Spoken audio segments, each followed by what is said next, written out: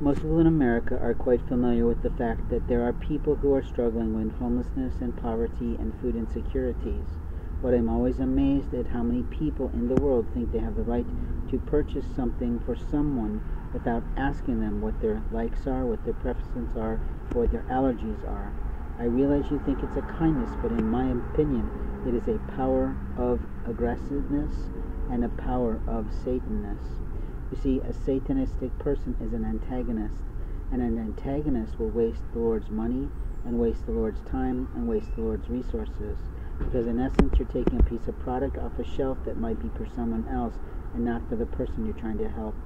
The life of a person who lies, steals, and cheats another person out of their life and out of their records and out of their things is still a Satanist to God.